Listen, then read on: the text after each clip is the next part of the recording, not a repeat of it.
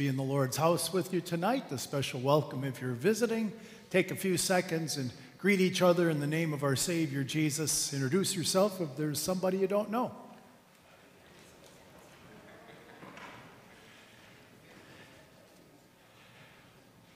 This Sunday is the festival of the Reformation of the Church.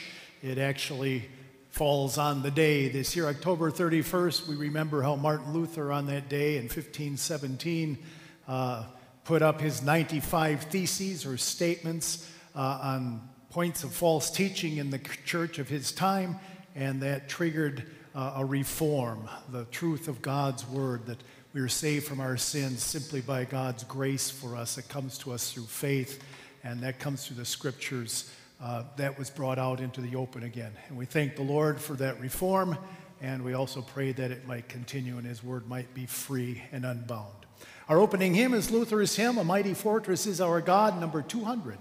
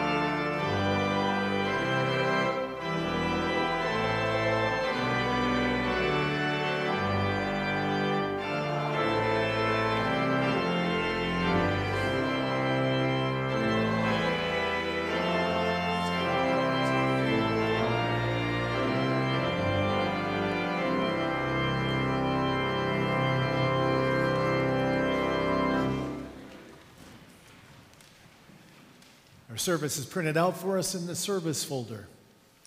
In the name of the Father, and of the Son, and of the Holy Spirit. Amen.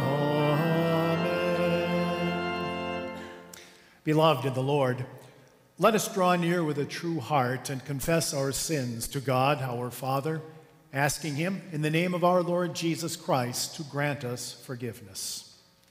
Holy and merciful Father, I confess that I am by nature sinful and that I have disobeyed you in my thoughts, words, and actions. I have done what is evil and failed to do what is good. For this I deserve your punishment both now and in eternity. But I am truly sorry for my sins, and trusting in my Savior, Jesus Christ, I pray, Lord, have mercy on me, a sinner.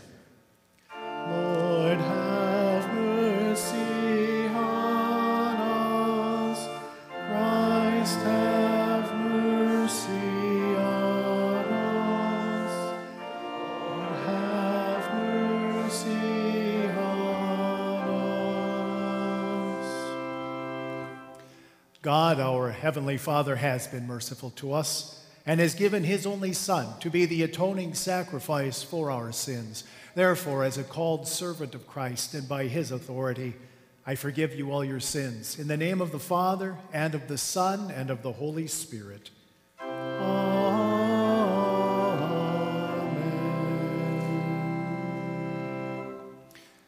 The Lord be with you. Let us pray. Gracious Lord, our refuge and strength, pour out your Holy Spirit on your faithful people. Keep them steadfast in your word, protect and comfort them in all temptations, defend them against all their enemies, and bestow on the church your saving peace. Through your Son, Jesus Christ, our Lord, who lives and reigns with you and the Holy Spirit, one God, now and forever. Amen.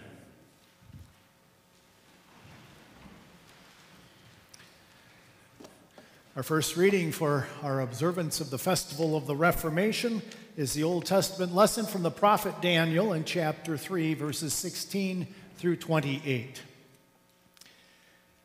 Shadrach, Meshach, and Abednego answered King Nebuchadnezzar, We have no need to answer you about this matter. Since our God, whom we serve, does exist, he is able to save us from the blazing fiery furnace. So he may save us from your hand, your majesty. But if he does not, you should know, your majesty, that we will not serve your gods, and we will not worship the golden statue that you set up. Then Nebuchadnezzar was filled with rage, and the expression on his face changed against Shadrach, Meshach, and Abednego. He said to heat the furnace seven times hotter than it was usually heated. He ordered some men who were soldiers from his army to bind Shadrach, Meshach, and Abednego in order to throw them into the blazing fiery furnace. So these men were bound in their coats, their pants, their turbans, and their other clothing, and they were thrown into the middle of the blazing fiery furnace. Because the king's order was urgent and the furnace was extremely hot, those men who carried Shadrach, Meshach, and Abednego were killed by the intense heat of the fire. But these three men, Shadrach, Meshach, and Abednego, who had been tied up, fell into the blazing fiery furnace. Then King Nebuchadnezzar was startled and immediately stood up. He said to his advisers, Didn't we throw three men who had been tied up into the middle of the fire? They answered the king, Certainly, your majesty.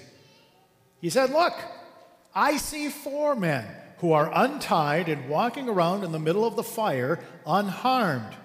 What is more, the appearance of the fourth is like a son of the gods. Then Nebuchadnezzar approached the door of the blazing fiery furnace. He said, Shadrach, Meshach, and Abednego, servants of the Most High God, come out. Then Shadrach, Meshach, and Abednego came out from the middle of the furnace. The satraps, the prefects, the governors, and the royal advisers gathered together and looked at these men. The fire had no power over their bodies. Not a hair on their head was singed, their robes were not damaged, and the smell of fire had not stuck to them. Nebuchadnezzar said, Blessed be the God of Shadrach, Meshach, and Abednego, who sent his angel and saved his servants who trusted in God and ignored the king's command. They gave up their bodies and did not pay homage or worship to any God except their God. The word of the Lord. Thanks be to God. We respond to the word by singing the psalm of the day, Psalm 46, page 84 in the front of the hymnal.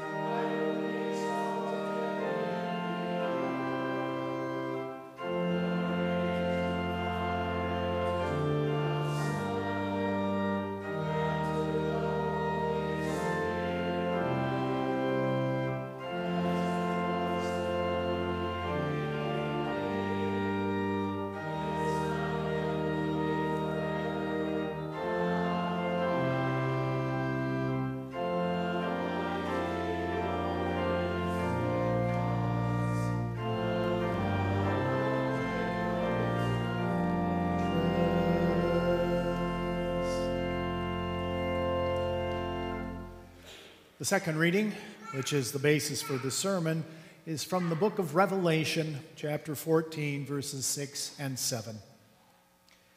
St. John wrote, Then I saw another angel flying in the middle of the sky. He had the everlasting gospel to proclaim to those who live on the earth, to every nation, tribe, language, and people. He said with a loud voice, Fear God and give him glory because the hour of his judgment has come. Worship him who made the sky, the earth, the sea, and the springs of water. The word of the Lord. Thanks be to God. Please stand for the gospel. Alleluia. Do not be afraid, little flock, for your Father has been pleased to give you the kingdom. Alleluia. Alleluia.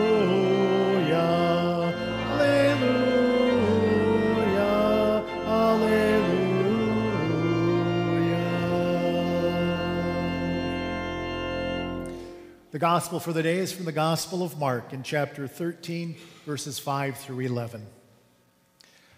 Jesus began by telling them, Be careful that no one deceives you. Many will come in my name, saying, I am he, and will deceive many. Whenever you hear of wars and rumors of wars, do not be troubled. Such things must happen, but the end is not yet. In fact, nation will rise against nation and kingdom against kingdom. There will be earthquakes in various places. There will be famines. These are the beginning of birth pains. But be on your guard. People will hand you over to councils, and you will be beaten in synagogues. You will stand in the presence of rulers and kings for my sake as a witness to them. And the gospel must first be preached to all the nations. Whenever they arrest you and hand you over, do not worry beforehand what you should say. Say whatever is given to you in that hour, because you will not be the one speaking. Instead, it will be the Holy Spirit. The gospel of the Lord. Praise be to you, O Christ. Please be seated. We continue with the hymn of the day, number 203 Lord, keep us steadfast in your word.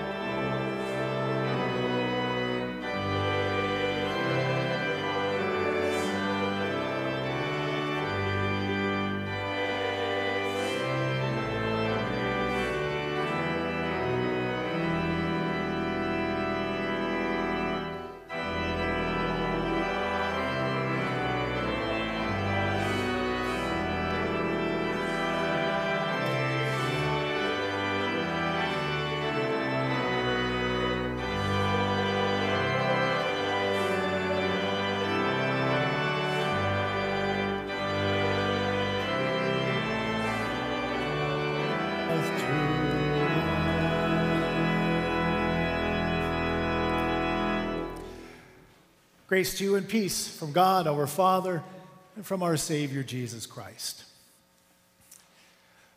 So, two weeks in a row, readings from the book of Revelation. We don't have too many lessons in our worship from the book of Revelation. Many people regard the book of Revelation, the last book of the Bible, as a very scary book. And yes, there are pictures, visions that Jesus gave to John. The full title would be The Revelation of Jesus Christ. And he gave these visions to his apostle John to write down. And he used pictures dragons, yes, um, destruction, yes, four horsemen, yes. And they can be frightening.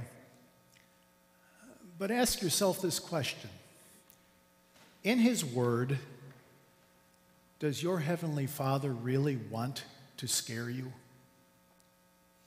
No.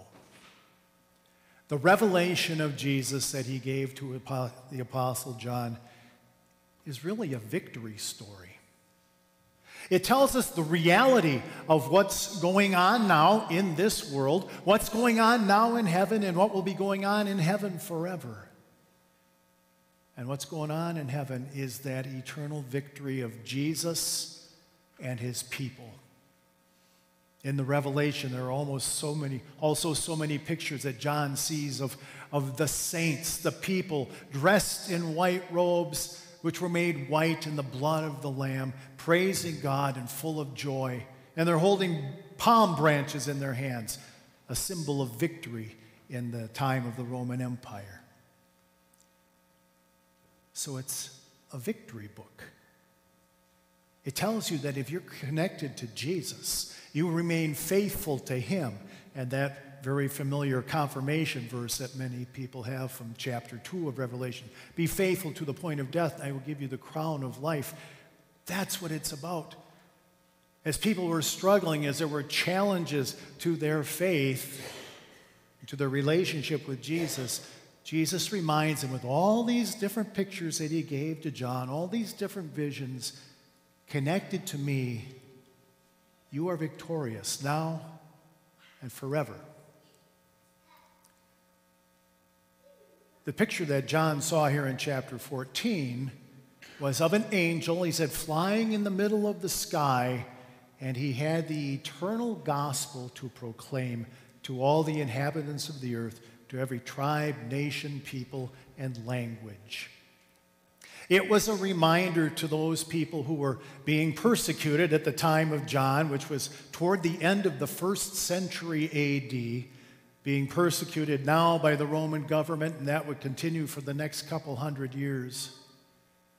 And there's very much a temptation to despair, to ask the question is it worth it living as God's children in this world?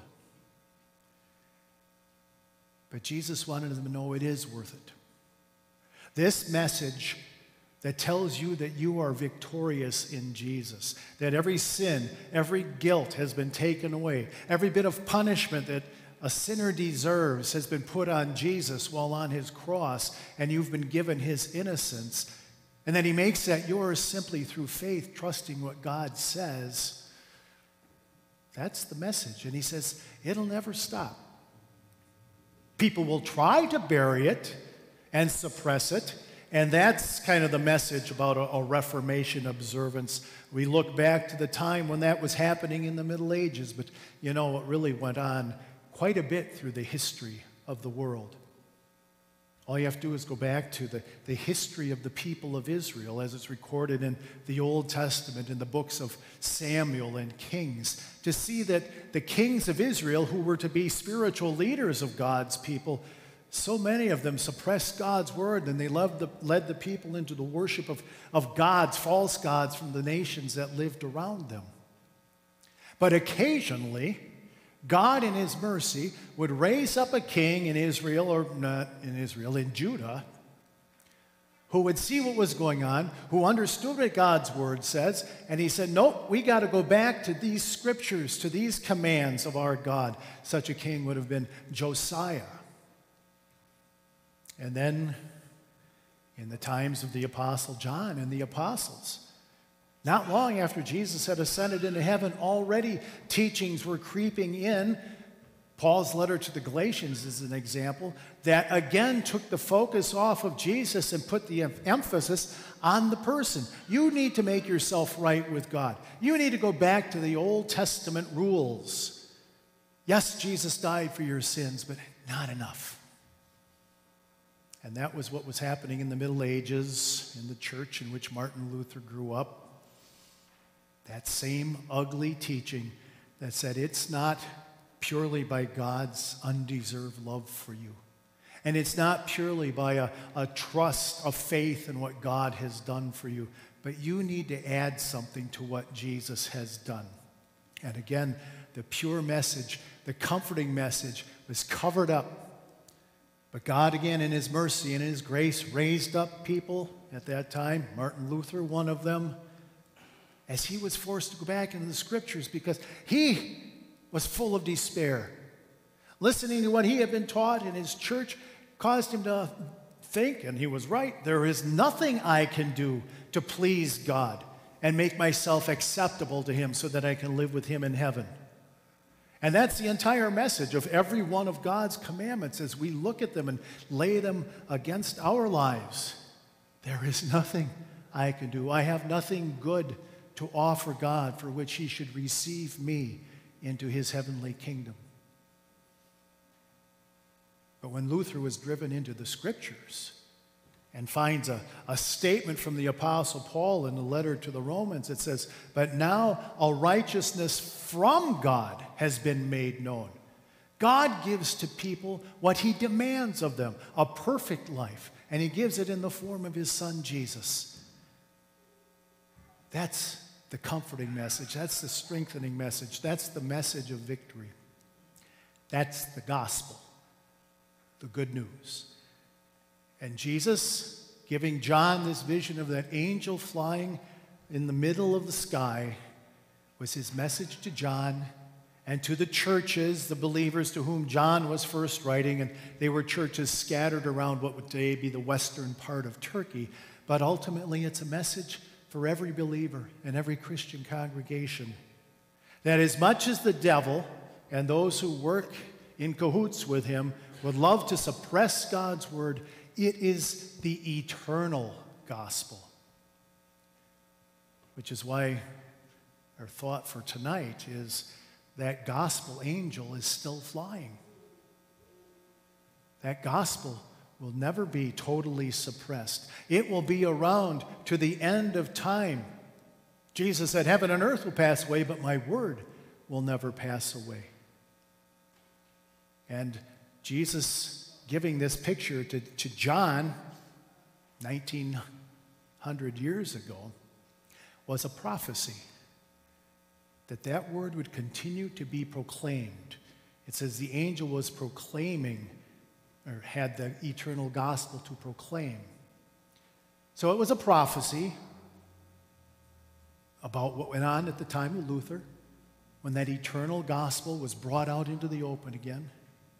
It was a prophecy about what, uh, what happened back in the early to mid 1800s when German Lutherans uh, were not happy when the German governments were telling the churches, this is what you have to teach.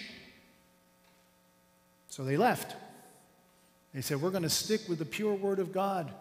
And they came to this country. And John, seeing that angel with the eternal gospel, was also a prophecy from Jesus of what still goes on today.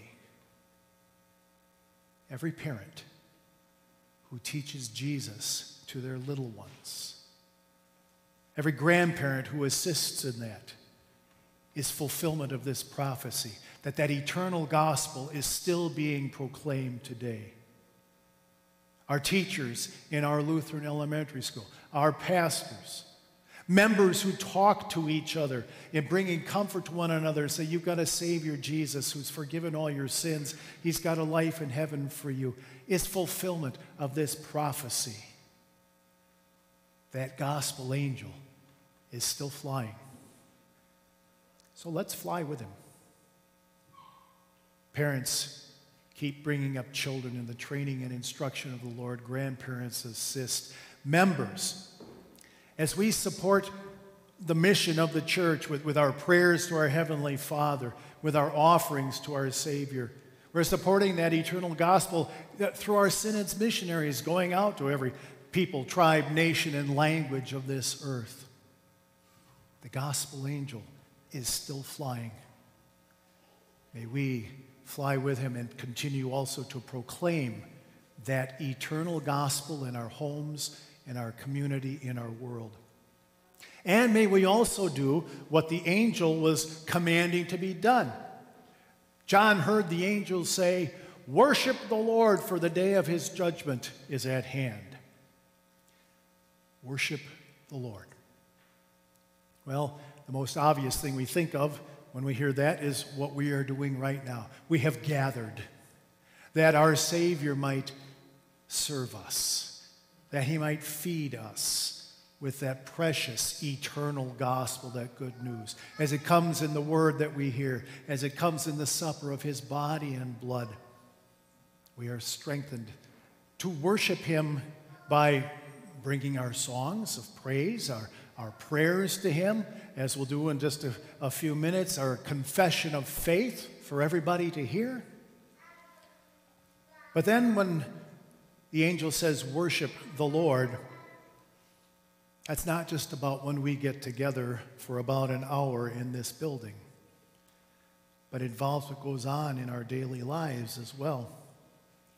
The Apostle Paul was inspired to write to the Romans offer your bodies as living sacrifices. This is your worship. This is how you honor your God. And we add the word to that do that fearlessly. The same things that were going on in John's time were going on at Luther's time. When Luther stood up for the truth, he was declared to be a heretic and an outlaw. People were allowed, if you, if you could, you could kill him. And there is still to this day opposition to God's pure word, to his pure commands, which, which have not changed. And when you live by those commands, honoring authorities as he commands in the fourth commandment, respecting human life at every stage, as he says, You shall not kill, respecting marriage, God's way of marriage, and family. You get blowback on that, you get opposition. But as all these others did, fearlessly, you can worship the Lord in your life. You can be like Shadrach, Meshach, and Abednego, whose lives were on the line. And they said to King Nebuchadnezzar, Our God can save us from this furnace that you're going to throw us into. He might not, but He can. And just know this that even if He doesn't, He decides this is the end of our lives, we're still not going to bow down to your false gods. Luther stood up before the powers that were in the church and in the government. And fearlessly, you and I can worship the Lord too. Because, as with all those others that we just mentioned, we know the truth of the words of that psalm that we sang God is our refuge and strength and ever present help in trouble. Therefore, we will not fear though the earth give way that eternal gospel and the gospel angel, that prophecy that it would continue to be proclaimed, he's still flying. He's flying in, in God's church as that gospel message is proclaimed. So may we fly with him, continue to proclaim that word purely in our homes, support it, and live it. Amen. The peace of God that goes beyond our understanding, guard your hearts and minds in Christ Jesus. Amen. We'll confess our faith with the Nicene Creed, page 6.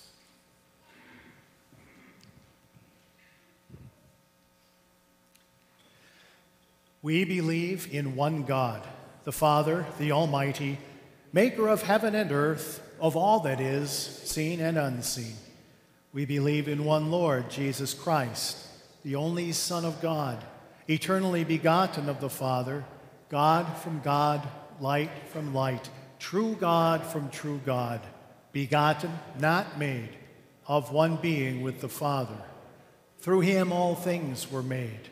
For us and for our salvation, he came down from heaven, was incarnate of the Holy Spirit and the Virgin Mary, and became truly human. For our sake, he was crucified under Pontius Pilate. He suffered death and was buried. On the third day, he rose again in accordance with the scriptures. He ascended into heaven and is seated at the right hand of the Father. He will come again in glory to judge the living and the dead, and his kingdom will have no end. We believe in the Holy Spirit, the Lord, the giver of life, who proceeds from the Father and the Son, who in unity with the Father and the Son is worshiped and glorified, who has spoken through the prophets. We believe in one holy Christian and apostolic church. We acknowledge one baptism for the forgiveness of sins. We look for the resurrection of the dead and the life of the world to come. Amen.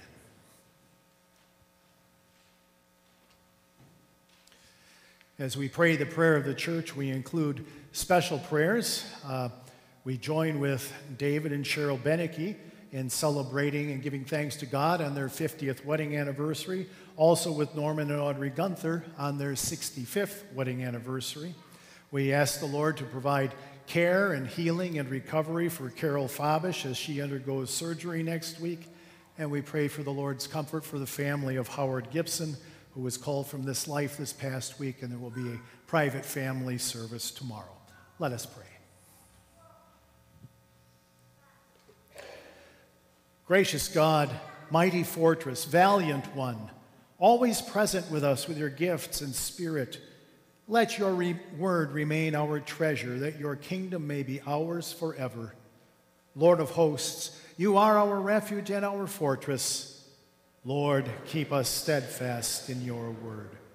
Keep us watchful so that no one deceives us. Open our lips to give reason for the hope that we have.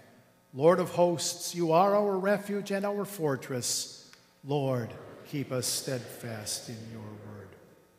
Let your word be taught in its truth and purity, that your kingdom may come and your will be done by people near and far.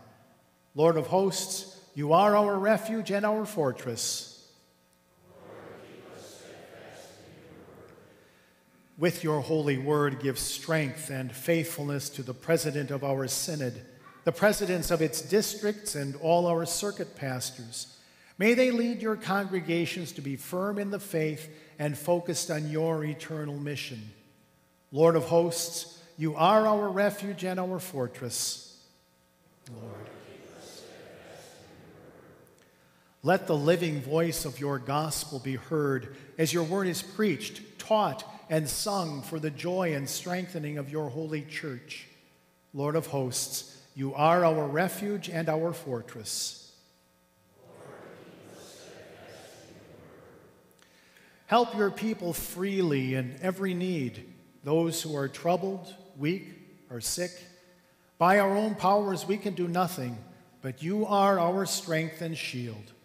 Lord of hosts, you are our refuge and our fortress. Loving Father, we love because you first loved us. We praise and thank you for your love for Dave and Cheryl Beneke and Norman and Audrey Gunther through the many years of their marriages. Continue to bless them, lift and strengthen them by the power of your word, that their love for each other continues to reflect your love for them. Gracious Father, all health and healing are gifts from your hand. We pray for Carol Fabish Give her doctors and nurses the wisdom and skill as they work for her healing. And while she waits and faces many unknowns, calm all doubts and fears with the word of your promise that nothing can separate us from your love that is ours in Christ Jesus. And Lord Jesus, your holy word promises that you will wipe away every tear from our eyes in that day when there is no more death or mourning or pain. With your promise, Dry the tears of those who weep for Howard Gibson, that the, with faith they and we may look forward to the blessed joy of heaven with you. And now listen, Lord, to the thoughts and cares of our hearts.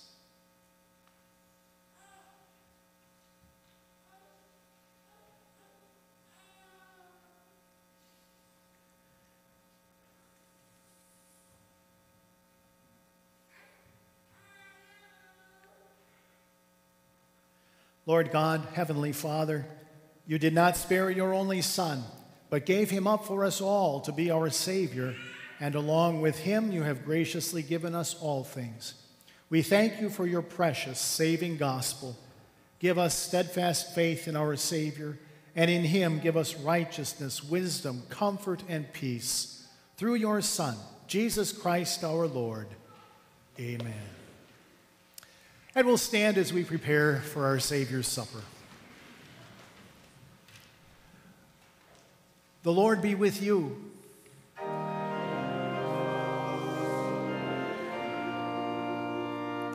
Lift up your hearts. We lift them up unto the Lord. Let us give thanks to the Lord our God.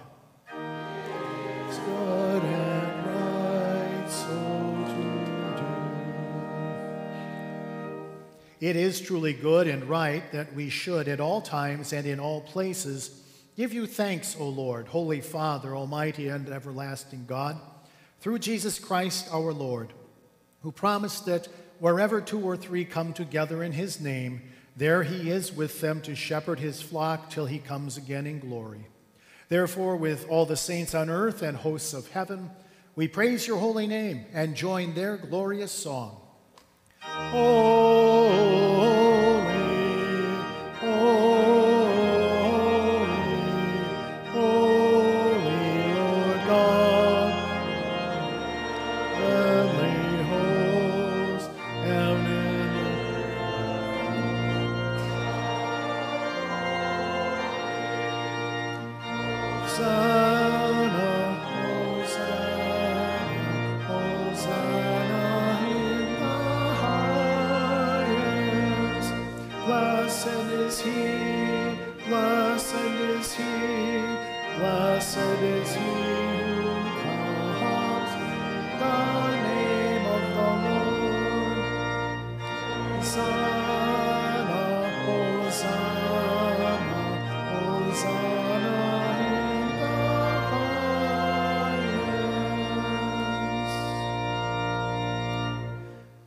Blessed are you, Lord God, eternal King and gracious Father.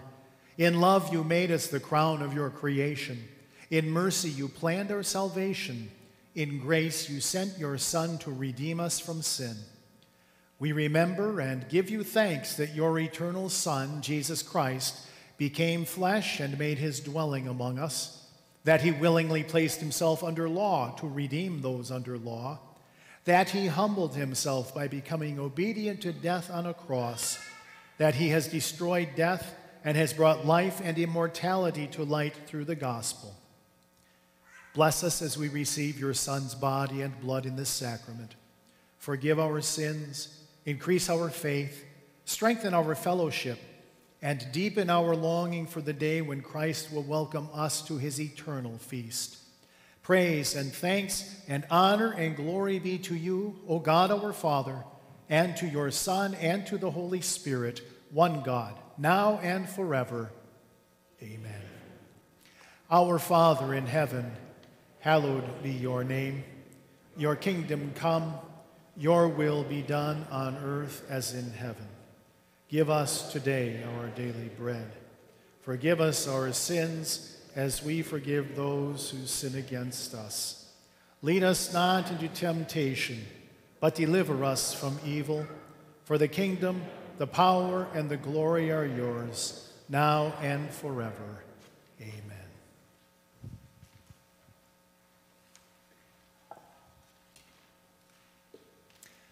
Our Lord Jesus Christ, on the night he was betrayed, took bread, and when he had given thanks, he broke it and gave it to his disciples, saying, Take and eat. This is my body, which is given for you. Do this in remembrance of me. Then he took the cup, gave thanks, and gave it to them, saying, Drink from it, all of you. This is my blood of the new covenant, which is poured out for you for the forgiveness of sins. Do this whenever you drink it in remembrance of me.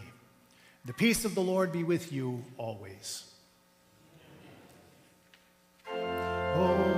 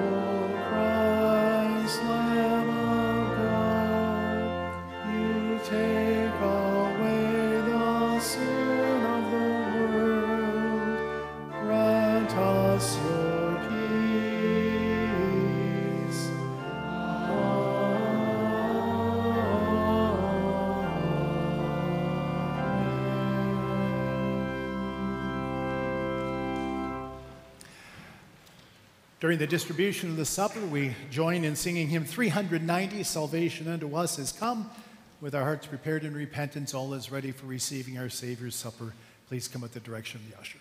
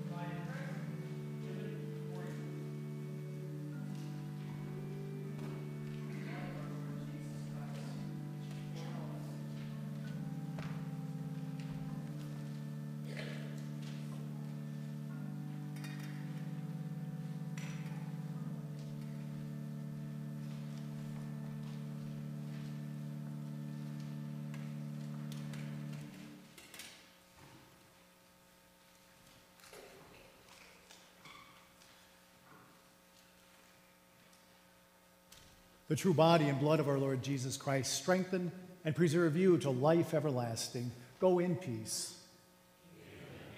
Please stand as we give our thanks. Give thanks to the Lord, for he is good. Whenever we eat this bread and drink this cup, we proclaim the Lord's death until he comes.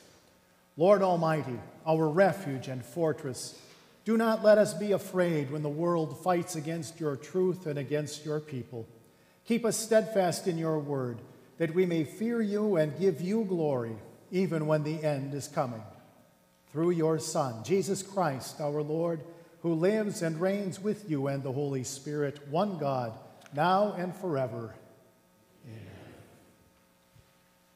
The Lord bless you and keep you. The Lord make his face shine on you and be gracious to you. The Lord look on you with favor and give you peace.